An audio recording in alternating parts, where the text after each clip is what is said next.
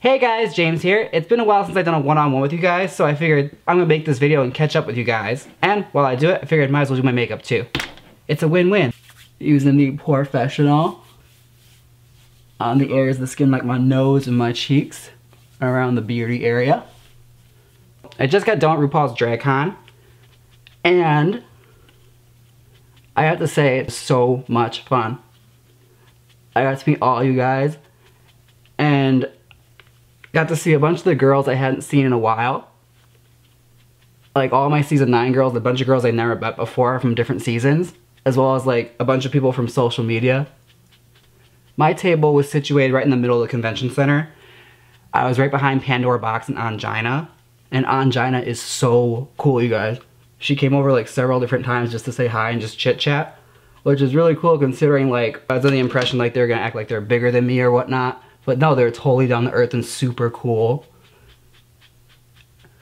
I actually ended up doing a panel with her and Kelly Mantle and Tammy Brown, who is just as insane in person as she is on TV. She was going on and on about how she was watching a French movie with Kelly Mantle's boyfriend and how she's been sleeping on her couch for the past four days. And Kelly Mantle's just like, yep, that's an everyday occurrence with Tammy. I'm just adding orange right now to color correct my beard since I have really dark hair. But like I said, it was me, Angina, Kelly Mantle, and Brendan Jordan. We were doing our coming out stories. It was pretty cool. Alright, adding on my foundation right now. Uh, the first day was like chaos. It was just me arriving late and setting up as much when I had a little time as possible to do it. And it's one of those things where it's like I got there and I didn't expect to like actually have to work. I thought I'd like set up my table and like jet out, but like people purchase VIP tickets, so it's like, crap, I'm not in drag. I have to get in like seller's mode right away. But I feel like me and my team pulled it off. I brought my boyfriend, my friend Dixie Cup, and Vinyl Grits and Veruca Voorhees. They were all there with me. And I'd say like we rocked that shit. We were such a team. It's like we had literally just landed there. I don't think we even been there for like two hours. It took us forever to get from the hotel and then walk right across the street to the venue. That's right, girl. I walked. The glamour of it all with all my suitcases. And there was like sprint on over to the convention center where there was like four other conventions going on at the time. And get set up and get ready to sell. And I'm pretty sure the only girl that was in drag there was Trixie. And she kind of scolded me and said, it's not RuPaul's People Con. But it's like, girl, I was there for like an hour. Give me a break. Oh, I forgot to take my eyebrows off. Don't mind me. I'm going to look a little bit like a mole rat after this. Gonna take a makeup remover and remove my eyebrows. Because these are my daytime brows.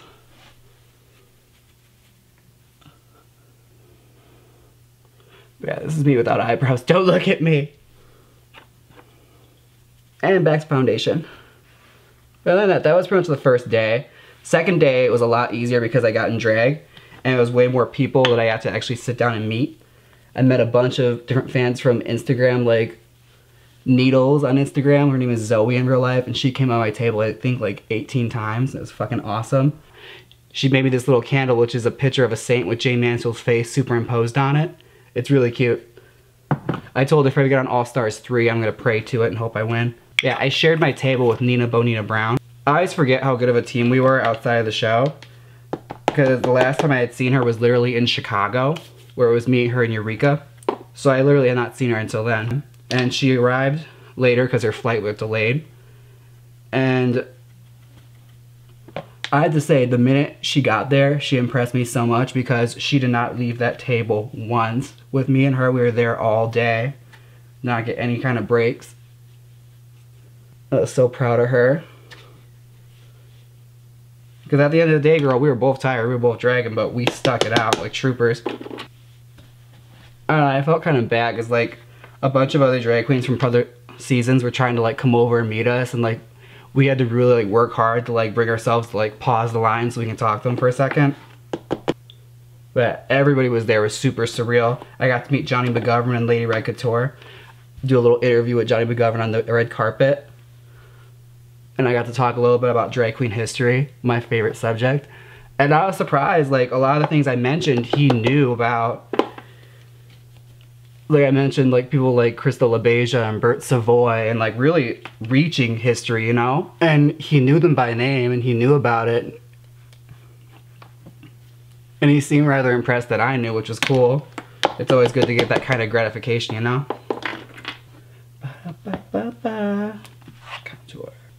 Alright, now I'm just doing some contour.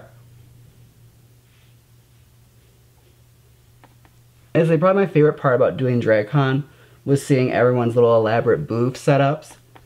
Like Shea Coulee had this really awesome like artsy spray painted setup and Valentina's is like the secret garden that you had to like walk through a whole menagerie in order to get to her at the end. Meanwhile, me and Bo'nina were like, shirts, teddy bears, we're good. It's like my only real downer for VidyaCon is that I was just so busy I didn't get to really see anything. But on the upside, it's like I got to meet everybody and meet all my fans, so it well made up for it. I'll see it some other time. As like some of the things I wanted to see, like I ended up seeing anyway because the people walked over to us, which was really cool and considerate. Like I got to meet Devin Green. She passed by and like made an effort to come by and see me. As well as people like Jinkx Monsoon and Robbie Turner. So my favorite part was probably seeing you guys. I saw several of you walk around with those teddy bear heads on, which made my heart oh explode. I was so happy to see it. Especially the very, very little fans. That was amazing. There was a little girl and her brother that came with matching heads, my little blue teddy bear looks. It just made my heart melt. I was so happy. That's like, talk about attention to detail. She even had the blonde hair to match it. Alright, just do my highlight quick. I've changed some stuff up since the last time. I stopped using my Wet n Wild and actually upgraded to the Ben Nye banana powder. And I have to say, I can see what all the hype's about. I feel like Kim Kardashian when I use it. Oh, and um, the wrestler Melina from WWE, she actually made a point to walk over to my table and introduce herself to me. How that came about was a fan had mentioned that he heard I liked wrestling and asked me who my favorite wrestlers were, and I just told him I love all the women from WWE, all of them. And he was like, okay, and I didn't think anything of it. Next thing I know, she's walking over here telling me that a fan had told her that I love women's wrestling, so she wanted to make sure to come over personally talk to me and say hello, and she even gave me an autographed picture. It was super surreal, and it's like one of those moments where I'm like trying to keep my composure, like, thanks, yeah, um, great, and it's like, you're just, I'm in the moment, it's like, I love this person, I don't know what to react, and the only thing I say is, thank you so much, thank you so much. Oh my god, I'm so thrilled. Thank you so much. It's like complete abstract Patsy moment. My mind completely like hit a wall and I didn't know how to function. Kind of like being on Drag Race. And next thing I know, she's gone and it's like I get back to the hotel. It's like, damn it, I didn't give her a t-shirt or anything. Needless to say, it was an awesome moment. I'm gonna remember it forever. Because literally, like, I've watched this woman since I was in high school. I'm going with the androgyny palette, start my eyes.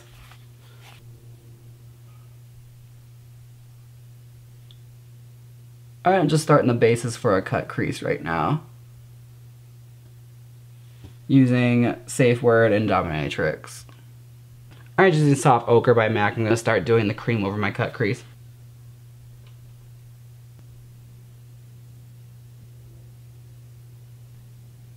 And I'm just setting it with Succubus from the Kat Von D Shade and Light palette.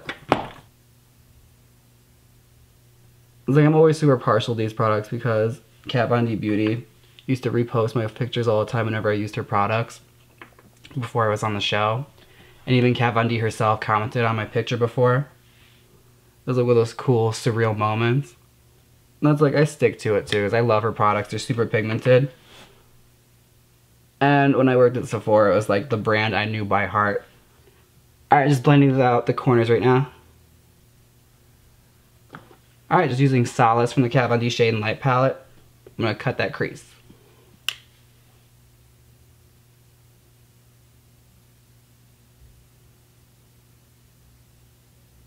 And I just posted my P.O. Box information down below now for my videos. So if you guys want to send me any kind of letters or anything like that, information is right down there in the dialog box. But yeah, as you guys haven't noticed, I've been trying out some different techniques with my makeup, trying to change it up. Habit of being on the show as you see yourself on television, you learn what works and what doesn't. So I've been trying something different with my eyes. Now I'm doing this cut crease thing, which I think it actually looks really cool. compared to what I used to do where it's just like just put like six layers of tan on. I'm gonna start my eyeliner right now. Still using that classic NYX gel liner. Just mixing some of those new techniques with the old.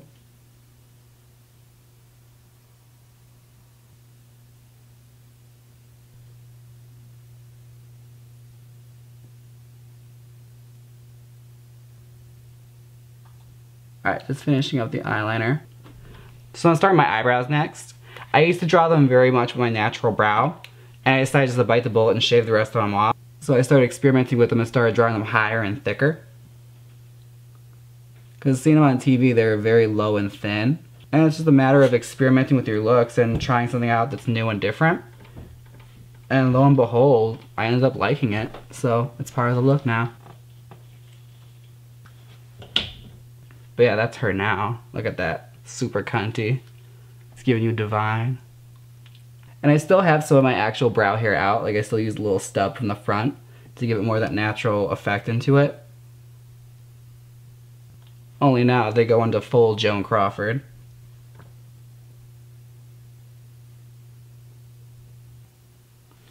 But yeah, just remember eyebrows are cousins, not sisters, and sometimes they're kissing cousins. I'm gonna start my color in the eyes right now. Going with the Beauty Killer palette because it's got plenty of color. Alright, I'm to go in with some pink right now. I'm using Star Power from the Beauty Killer palette.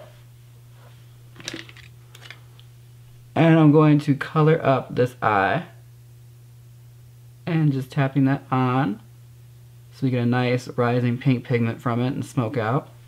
Take a cleaner brush and we're to buff it out. Raising that eyebrow and just buffing this girl out.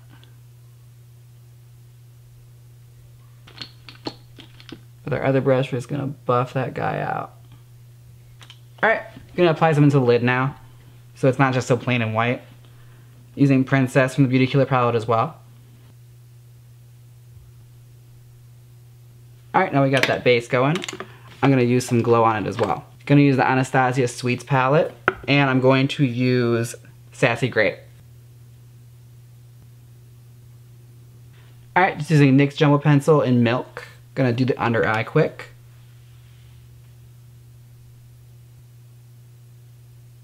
A lot's been happening since I last talked to you guys like this. I've actually started touring now, and I'm gonna actually start traveling outside of the country. I'm doing Australia and England, girl. It's exciting.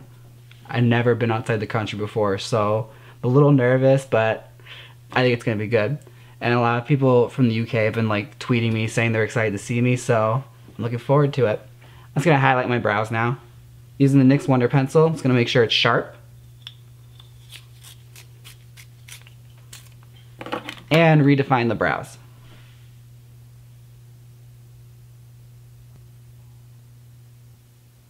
Alright, our brows are lined. We're gonna start doing finishing touches on the eyes. Like for instance, you might have noticed my eyeliner got very, very light from putting all the glows and light stuff over it. So we're going with a darker color. And picking up some black rainbow from Jeffree Star. I'm going to put that over the black eyeliner just to darken it back up. Alright, just using like an eyebrow brush. And I take that with the dark eyeshadow as well and sharpen up any edges.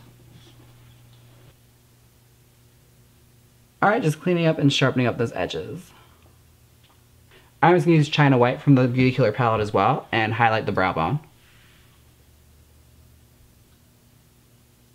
Alright, final touches with the eyes. I'm doing an underline right under the eye. And just bringing that line out a little bit. And that's when you have to like super precise with, otherwise if you like do it wrong, it's gonna look like you had like a stroke. Alright, I'm gonna do the contours of my nose right now.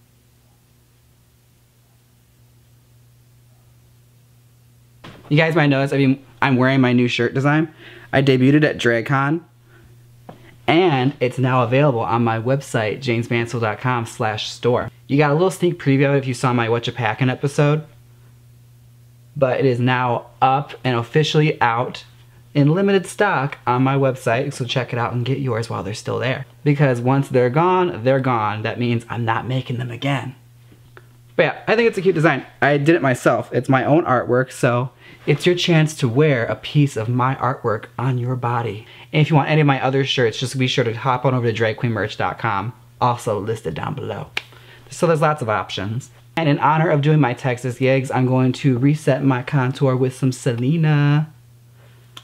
I waited in line at like 4 in the morning to get this bad boy, so I want to test it out and see how it works. I will use a little bit on the lower jawline because doing all this touring, girl, that jaw has been going out and out and out. So I'm gonna need to mask that as much as possible. As I say, it's been super cool being able to like tour and see different cities and see different people. Like, I'm always super happy doing the meet and greets and getting to meet all you guys. And I know a lot of my underage fans out there can't make it out to the bars to see me, so that's why I make these videos for you guys, so you at least get a chance to see me here. There, I have a jawline again. Let's do some blush, girl. Let's do our lips and we're almost done, girl. Picked up this bad boy in the Denver airport. Straight up, the Denver airport has an Urban Decay store there, girl. They had everything. There It was like a shopping mall. I could got lost there for hours. I'm using Naked 2 right now by Urban Decay for lip liner. I really like it because it's that nice hue of like rose, deep nude.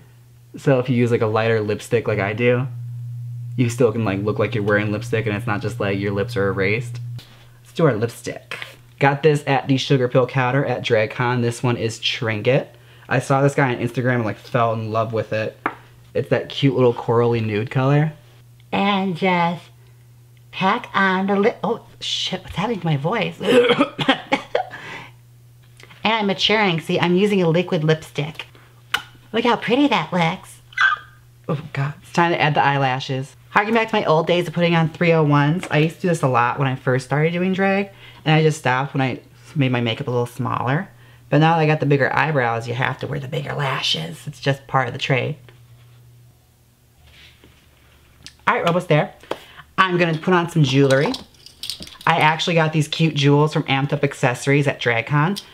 I walked by the table and realized I had no earrings on and just browsing, they gave me these to wear for DragCon. They're so sweet. Look how pretty they are. I'm excited to wear them. The only problem is they're clip-ons, but they're so heavy, they fall right out. So it's like actual drag jewelry. I'm not used to that. I'm used to like, you know, Dollar Tree jewels. So take a little nail glue. It's gonna sound barbaric, but make sure you put some makeup on your ears. And you just tap a little there on the earring. Not a whole lot. And just press that sucker on. Like I said, make sure you have makeup built up on that earlobe though. Because if you do it on bare skin, when you take it off, it is going to hurt, girl. There, see? Now she's sticking. Say a big thank you to Amped Accessories. These earrings are super cute, girl. So I'm really, really excited because I finally got a Wigs by Vanity. And this is her, girl. Look at that lace. Lit against that skin. It's so good. Now, I've been wanting to try these wigs forever, ever since I started doing drag, ever since I heard of them. And I finally got my hands on it. My boyfriend was so sweet and bought me two of them. This is her out of the bag, fresh out. I'm gonna show you another one that I actually styled that I'm gonna wear today. This is one I actually styled. I pulled her back into my signature ponytail and I took four drawstring ponytails and created a fall with it. So yeah, that's her. I'm gonna put her on today. It's so good. All right, what I'm gonna do, I'm gonna change outfits and then glue this girl down and I'll be right back, okay? I'm back. This is the final look. It was so much fun being able to make this video with you kittens and being able to catch up on all the hot things that have been going on in my beautiful, wonderful life. Don't forget to like, comment, and subscribe, and comment down below and let me know what you want to see next. I am listening. Until next time, bye.